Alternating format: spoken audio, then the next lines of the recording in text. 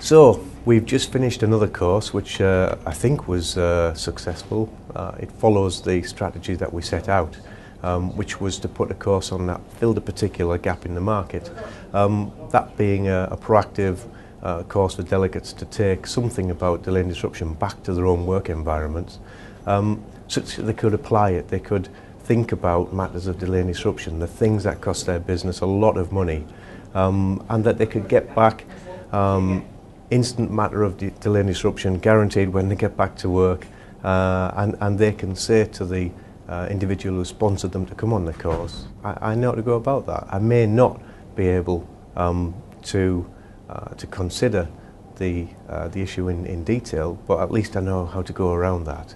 Um, so the strategy, like I say, was always to put the, the concepts of delay and disruption right at the front, uh, to deal with those, to give people an understanding, uh, to give them a toolkit how to deal with matters of delay and disruption in the second part of the course, and then to apply it um, in the, uh, the case study that we gave them. Uh, the teams again worked hard last night, and that was good to see. A uh, bit of fun at the end, interrogation from an arbitrator, uh, and everybody's gone away with a bit of a buzz, I think. Everyone's gone away uh, feeling really positive about the course, some good feedback, uh, and hopefully uh, we'll see the same positive Uh, feedback on, on the next course that we hold.